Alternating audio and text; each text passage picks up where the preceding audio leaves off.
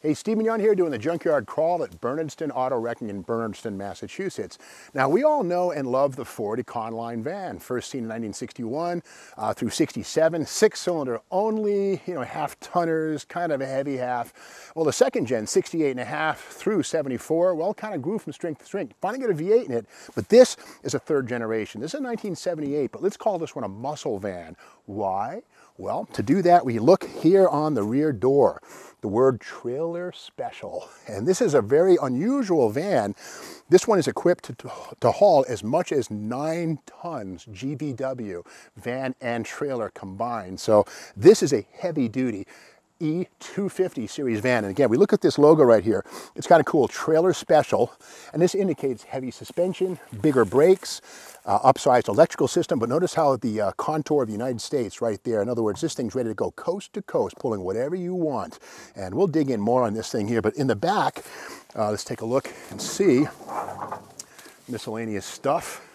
Yeah, this one has, uh, it's commodious inside. This might have had seats in it. You could get the trailer special with or without the passenger interior. And it's interesting, look at this, a little irony. Those red doors, those are from a first generation Econoline van. Again, 1961 through 67, strictly six cylinders, strictly half ton. Again, it was a heavy half, but nothing like uh, the uh, second and third gens. Now these third gens are unique in many ways. And, oh, well, we have a little friend here. Look at this. It's Mickey, uh, Mickey Mouse right here. You never know what you're going to find in a, in a, in, a, junkyard situation. Rest in peace, little friend. But uh, one thing that's cool, by the way, about these is that the rear doors swing out, but if you need even more swing, there's a pin right in here that you can remove. Now this ordinarily, this little strap here, keeps the door from going too far. But if you want to go further, pull this out and the doors can go way deeper, way farther. Now that tree is kind of in the way, but these little pins that a lot of people don't realize. Now, a lot of these trailer special vans do come with special wiring harnesses that are ready to feed the brake lights on a trailer. And these even have heavy duty flashers and brake light switches to accommodate the electrical load of the van and the trailer behind it. Uh, and that trailer could well be a mobile home or uh, a car trailer, you name it, but up to nine tons total weight on these things. Now this one is a long wheelbase van. Uh, the super van, which actually had a little caboose added to the back, would come a couple years later. This is 78, again, first year 1975 for this third gen. But the thing that makes these so suitable to trailering is that the third generation Ford Econolines went to a body on frame construction. The Gen 2s like this one here, these are unit construction. With that said, the bones under these things could only be made so strong, whereas the third gen's truly an F-250 pickup truck with a body added to it. So these things have a massive frame. Now here we see the F250s, Dana 60 rear axle with full floating hubs right here, uh, eight lug wheels, 16 and a half inch tires and rims. These are way bigger than the five lug nine inch rear axle seen on the E150 half ton van, but this is kind of the big dog. Now, speaking of muscle, these vans, up till about 1981, can't be identified by model year according to the VIN. There's no specific character. Instead, you go to a stack of the serial number, which will tell you what year, but this one we know it's a 78. But with that said, the engine is identified. Now here's the sticker, the VIN sticker right here. Now I say sticker because after 1970, these darn stickers arrived, which we can see they delaminate, they peel. 69 and before, this was metal, but here we see the magical A in the fourth spot, that A, 460 big block muscle. Look right here to your left, and there it is, the 460, same engine you could get in a Lincoln Continental or a big Ford LTD Country Squire wagon was part of this E250. Now it's kind of cool inside. Details we see on this one, the twin tanks. This has a 41 gallon capacity. Here's the main and auxiliary fuel tanks toggle switch right here to go from one or the other right there. And again, 41 gallon capacity at 460 at 11 miles to the gallon. Man, uh, at least you could go a couple hundred miles instead of only 100, you know. Anyway, this one does have the 80 mile an hour speedometer for the first time in 1978, the metric secondary character is 130 kilometers, 120. Those things were added in 78, seen here for the first time.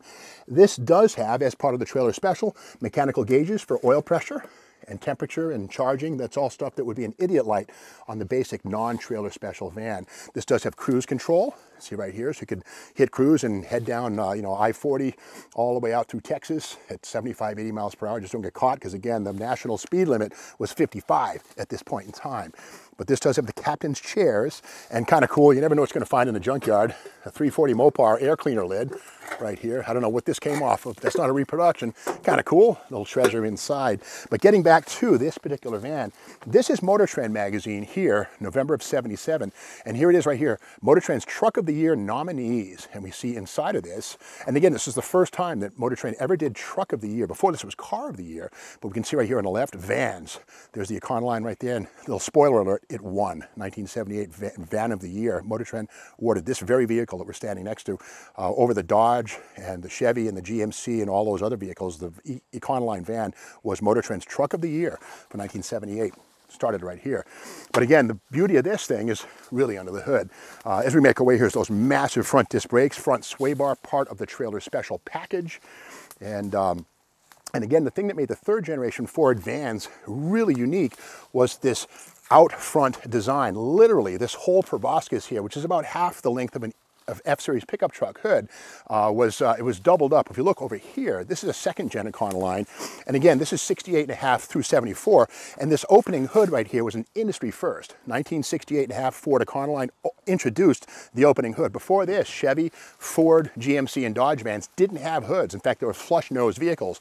But for 75, the third gen, Ford took it all the way with this massive proboscis. But the point of that was to get the engine cover and engine out of the way. Truly, they shoved it way forward and you could walk right to the back without going around that doghouse. It would be a problem on a Gen 2s and especially on a Gen 1s. But again, this one here being a trailer special under the hood, let's take a peek.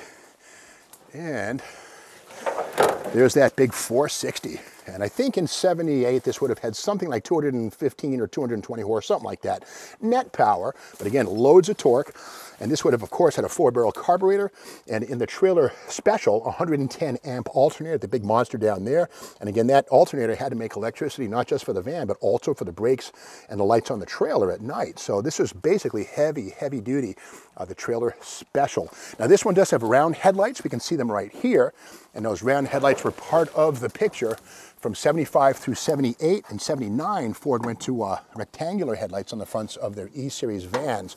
But again, one of the problems again with these things is that there's no VIN code for the actual model year till 1981 on this family of Ford van. But again, you can check it in the service manual by the VIN stack, this real number. But again, this is 78. We know that uh, for a variety of small reasons. But uh, the twin tanks on this, here have it, 41 gallons.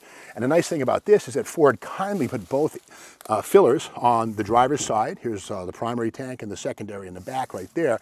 And unlike certain GM vehicles where one tank uh, filler was on the passenger side, one was on the driver, the problem with that is that when you pull up to the gas pump, you had to actually pick up, move around, turn the truck around to fill the other side, which when you were on your way, somebody pop in your spot, you had a fight. But with this, no problem at all. So here we have it, man, a 460 powered Dana rear axle, C6 heavy duty tranny cooler, engine cooler, uh, heavy duty muscle van. And yeah, they made them. Now the crazy thing on this one is that nobody apparently ever utilized it for pulling a trailer because I don't see the class four hitch at the back, which you'd think would be you know, standard equipment. There should be a big old square right there receiver, but I don't see it. It's possible. Somebody said, I want to have a 460 van, and here's how to get it. So a muscle van trailer special, kind of a rare package right here, only at Bernardston Auto Wrecking. Now, if you like Ford Econolines, well, that Series 2 Econoline right there, that's a super van. What's that? We'll come back tomorrow. We'll tell you all about it. Until then, be sure to subscribe to the Steve Maggs YouTube channel, and we'll be back tomorrow with more Junkyard Crawl here at Bernardston Auto Wrecking.